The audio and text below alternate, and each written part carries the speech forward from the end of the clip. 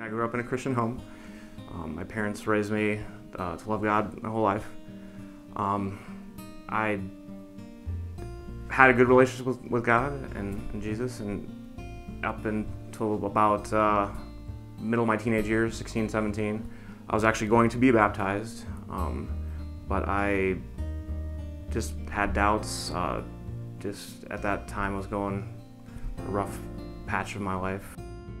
I, uh, I was going to get baptized, and then uh, I, I just walked away. I had doubts and didn't didn't go through with it, and left the church. Uh, just kind of did my own thing, lived, you know, did, did whatever I wanted for some years.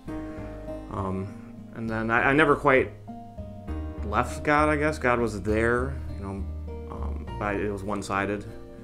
You know, I knew something bad happened. I'd throw out a prayer once in a while, but just kind of forgot about it after that, I guess. Um, as I started to get a little older and I started to think more about my future, um, I was going to be getting engaged. I did get engaged.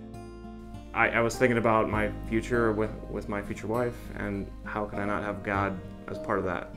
So um, it just became important to me to finally um, affirm my relationship with Jesus. Um, just you know, I, I know I've accepted him.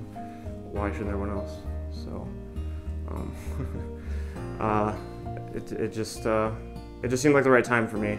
Um, you know, I, I did it once. I almost did it once, and uh, I wish I had, but uh, maybe I wasn't ready. But uh, now I now I definitely am, and I'm I'm ready.